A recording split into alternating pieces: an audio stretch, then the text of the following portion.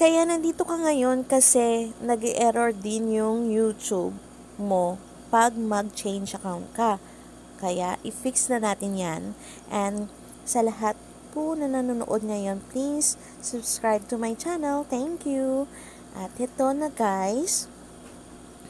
Mag-open tayo. Subscribe, subscribe. Ating YouTube. Ayan.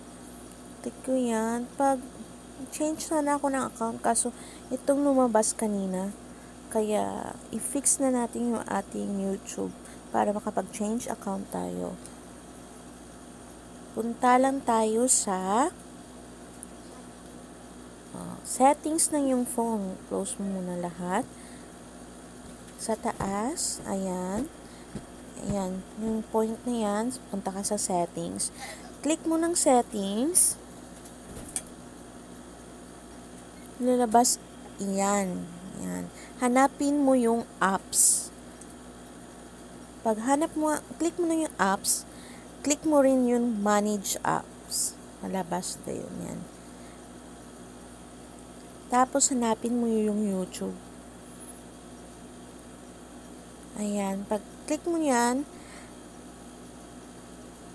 punta ka siya storage. Mo yung storage. Ayan, yan ang lulabas, lalabas guys. Tapos may sa baba dito na clear data. Ayan. May clear all data, clear cache. Clear all data. Ayan, okay na yan. At mabalik ka na sa yung YouTube. X mo na lang yan pa. Open yung YouTube. At wait lang natin. At open, mag-change tayo ng Ayan na siya guys, yung mga account ko. Ayan. Please don't forget to like, subscribe, and comment to my channel.